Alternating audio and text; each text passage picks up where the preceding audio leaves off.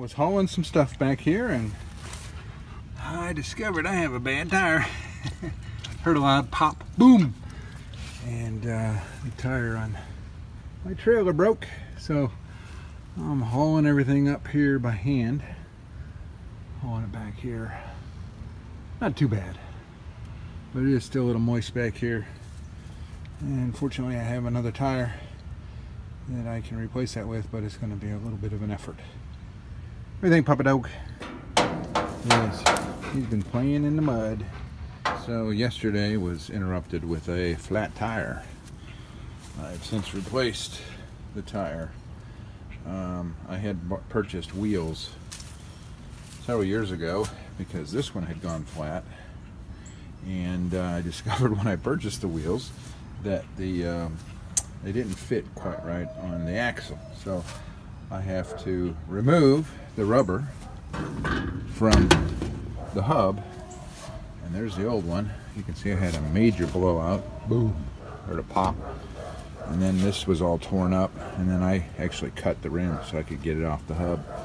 And then uh, with a little help from my daughter screwdriver was able to wedge this new tire back on to that wheel and it was easy to reattach once it was on that hub. So we'll be doing some more rock movement.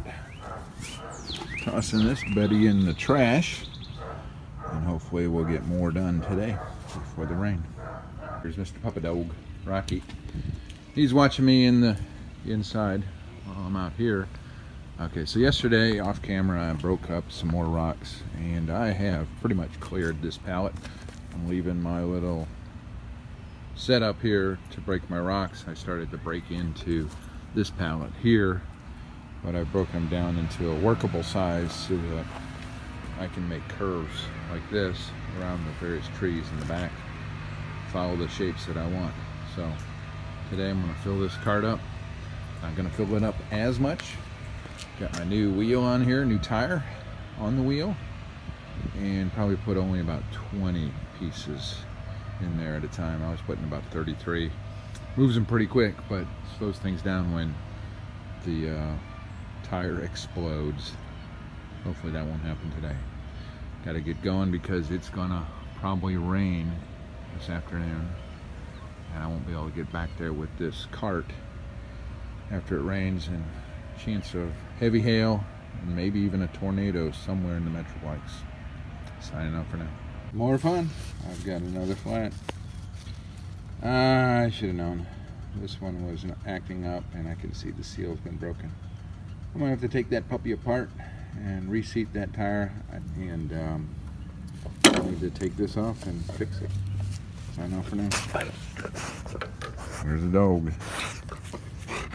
Okay, it ain't pretty, but uh, cleaned up the rim on the inside. Put a little bit of grease in there with what I had. And uh, got the compressor out. And boom. I've got a tire, but I've got another replacement tires on the way from uh, a website that sells parts for Toro TimeCutter Z420s. So we'll put this baby back on there and see how everything works. All right, the wheel's on. It was really easy to do. It's one bolt. Bang, you put it in there and uh, it looks like it's holding up for now. Those new, new wheels on the way will be helpful.